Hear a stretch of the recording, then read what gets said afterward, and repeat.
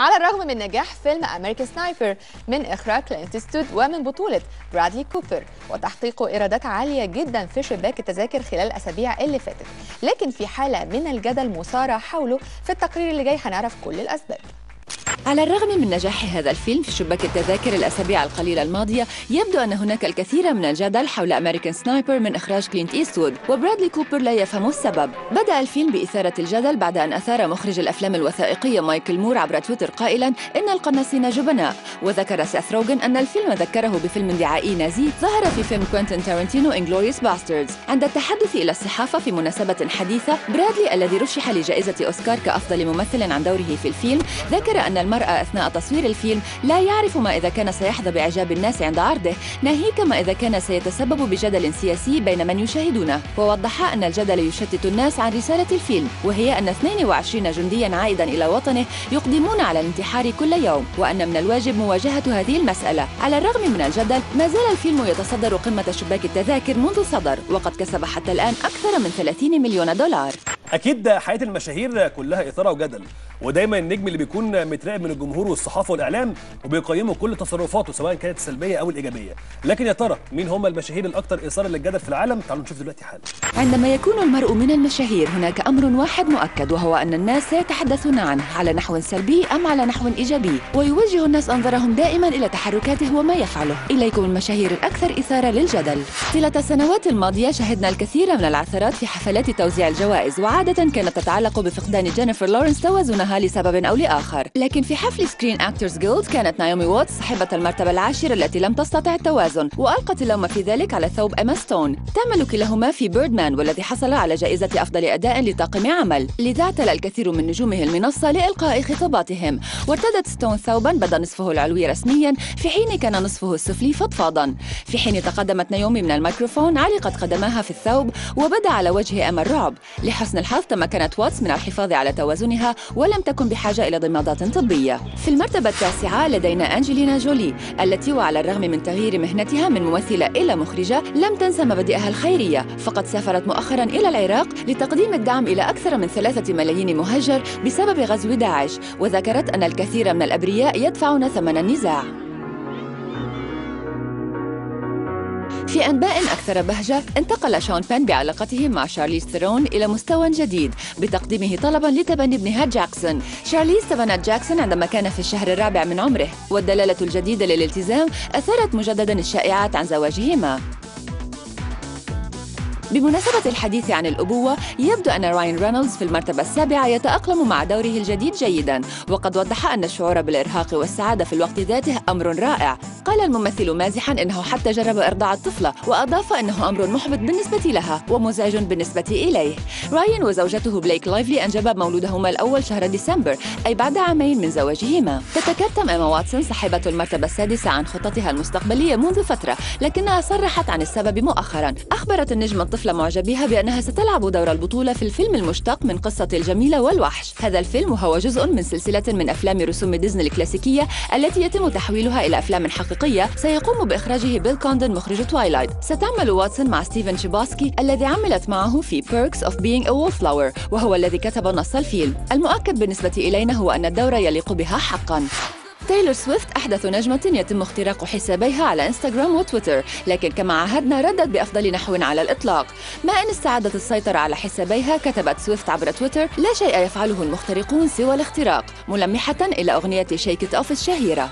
بعثت أيضا رسالة إلى المخترقين متمنية لهم التوفيق إذا اعتقدوا أن لديهم صورا فاضحة لها وكتبت حظا موفقا بتعديل الصور لأنكم لم تحصلوا على شيء. المسؤولون عن الاختراق يقال إنهم ذاتهم الذين أغلقوا فيسبوك وإنستغرام لبعض الوقت مؤخرا وهم ذاتهم الذين اخترقوا سوني بلاي ستيشن وإكس بوكس لايف العام الماضي. لحسن الحظ كان هدفهم الأخير صعبا جدا وتم إصلاح ما خربوه على الفور. الممثل كريس باين حضر مؤخرا مهرجان ساندانس السينمائي حيث تم الخلط بينه وبين راين رينولدز. ذكر كريس في مقابلة حديثة أن معجبا مرتبكا طلب منه توقيع صورة لراين وقد فعل ذلك محرجا. وعلى الرغم من أنها قصة مضحكة جعل ذلك التوقيع مميزا حقا وأكثر قيمة من قيمة توقيع راين الحقيقي أو حتى إن كانت صورة لباين. في مسألة أكثر جدية بخصوص المهرجان يبدو أن صاحب المرتبة الثالثة إيميل هيرش يتم التحقيق معه بعد ادعاءات بالتهجم والضرب في مهرجان ساندانس تزعم التقارير أن نجم لون سيرفايفر تورط في شجار مع إدارية سينمائية في حفلة بعد أن استدعيت الشرطة إلى النادي الليلي بعد الساعة الثالثة صباحا. يتم التكتم على كل التفاصيل بخصوص ما حدث فقد أعلنت الشرطة المحلية أنها قضية مفتوحة. كما يبدو لم يتم القبض على أحد لكن كان على إيميل التنبه لسلوكه الآن على أقل تقدير.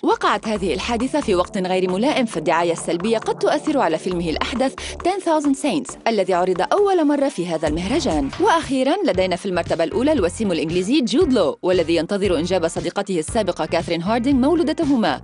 تم نشر النبأ عبر إنستغرام حيث وضعت صورا لحفل استقبال المولودة الجديدة. أكد الثنائي سابقا على الحمل شهر أكتوبر من العام الماضي ووضح متحدث باسم لو أنه على الرغم من انتهاء علاقتهما إلا أنهما ملتزمان تماما بتربية طفلتهما. وهي الابنة الخامسة للممثل. فلديه أيضا ابنان مراهقان وابنة في الثالثة عشر من عمرها من زوجته السابقة سيدي فروست. إضافة إلى ابنة في الخامسة من عمرها من صديقته سمانثا بيرك. يعتقد أن هاردينغ في الشهر الثامن من عمرها. لذا نتوقع أن يتم إنجاب ابنته الجديدة في نهاية شهر فبراير. تمنياتنا بالتوفيق لكل المعنيين. من الواضح أن جود أب رائع. ولا شك في أن كاثرين ستكون أم رائعة أيضاً. أحدث أغنية منفردة للمطرب باندا بير. حملت عنوان Boys Latin وناس كتير شايفين باندا صوت جديد حتما ومميز وبيصنع موسيقى مختلفة. آراء كتير اتقالت فيه هنعرفها حالا في التقرير اللي جاي.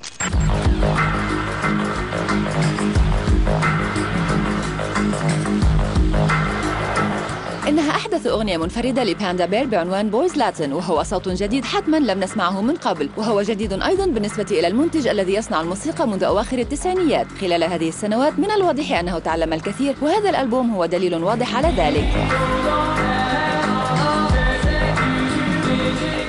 And this time, certainly more than any other time, I really pushed the words to feel like anybody could insert themselves into that story or that um, sort of fictional picture to, uh, to hopefully suck some kind of meaning or, or use out of it.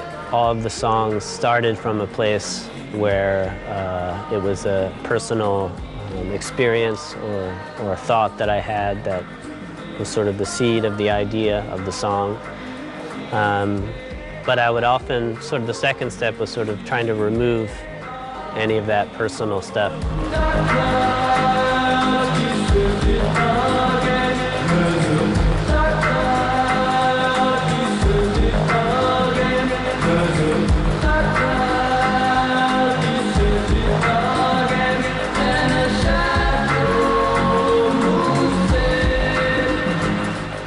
ألبومه الجديد باندا ميتس ذا جريم ريبر يتمتع بصبغة مبطنة مظلمة لكن في الواقع يحتوي على رسالة إيجابية مخبأة في عمق مضمونه As far as it relates to stuff that's talked about on the album, uh, it's never literally death. It's always referring to how massive changes can often involve something kind of dying and becoming something new.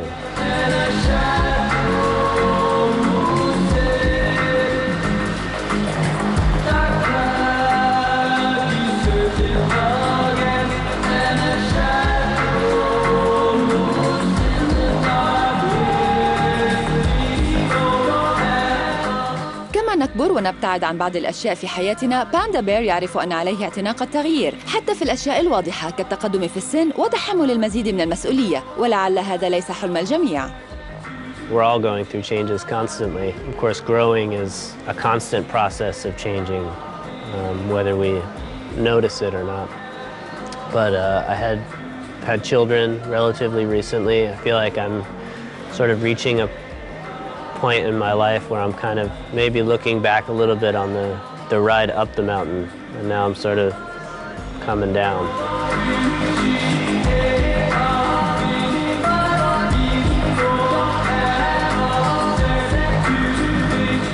في حين تتميز موسيقاه بصبغة جذابة ويمكنه حقا تغيير مفاهيم مستمعيه فهناك أفكار جدية في كل أغنية يصدرها Music is, uh, or, I mean, if it is going well, it can be sort of a highway to that um, state of mind that I feel like is devoid of any kind of superfluous nonsense.